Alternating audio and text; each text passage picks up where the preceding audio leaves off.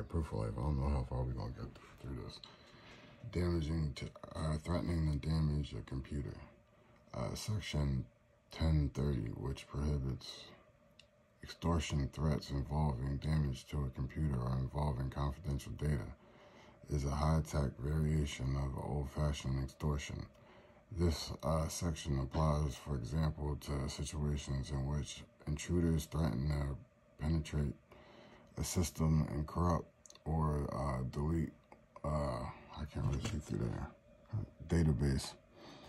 Other uh, scenarios might involve the threat of a distributed denial of service attack that would uh, shut down the victim's computer or threats or threats to steal confidential data. Section 1030 enables the prosecution of modern day extortionists who threaten harm unless their demands are met.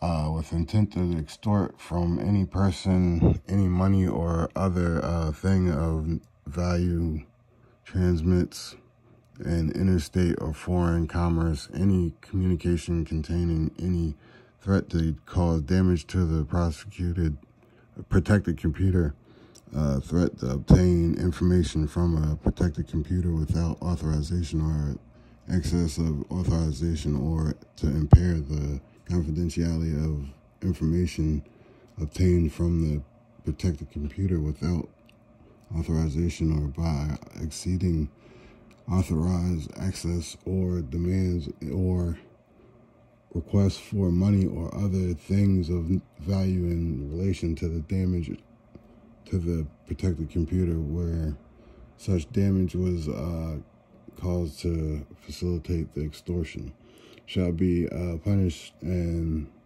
provided in subsection of this section. I can't say. Uh, summary. I don't need to, I don't need to read the summary because I, I gotta make sure I can. Um. There's a trafficking in password. I think there's. All right, let's go with the intercepting of communication. The core uh, uh, prohibition of the Wiretap Act is found at Section 2511, which prohibits any any person from intentionally intercepting or attempting to intercept any wire, oral, or electronic communication. Title 18 U.S.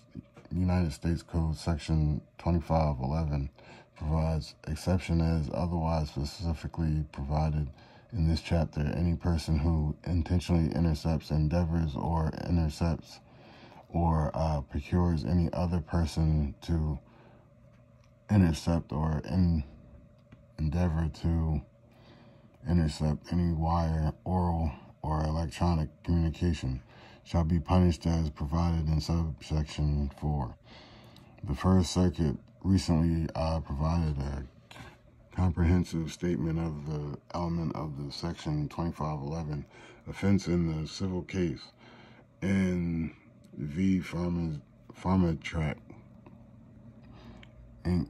privacy legislation these elements are listed in the box above and are uh, discussed below section 2511 text describes only three elements intentionally intercepts and communications. However, embedded in the definitions are additional requirements that indicate in jury indictments and jury instructions also frequently include specific and requirements that an interception be done with a device and that it be done uh, contemporaneously with uh, transmission intentional. In a Civil Wiretap Act case, the Fourth Circuit approved of the following uh, familiar jury section uh, instruction defining intentional.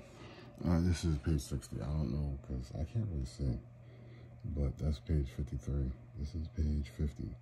That's 52. So I read it a little bit 62. This is me at the drawing, yeah. Um, in case I get Dr. Fauci. I think I read that, but uh, uh, I got more. I read that. All right, trafficking. The term trafficking is in section uh, 1030 is defined by a reference to the definition of the same term in 18 USC 1029, which means transfer or otherwise disposed of to another or obtain control of with intent to transfer or dispute, dispose of. John. A profit motive is not required. However, the definition excludes mere possession of a password if the defendant has no intent to transfer or dispose of them. ID.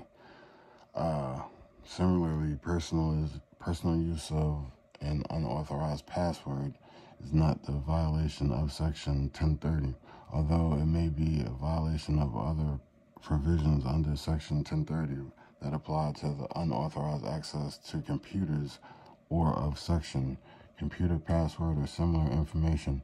The term password does not mean just a single password or phrase. Other embedded and enables that enables one to access a computer. As the Senate as the Senate report noted, the statute prohibits trafficking in a password or similar information.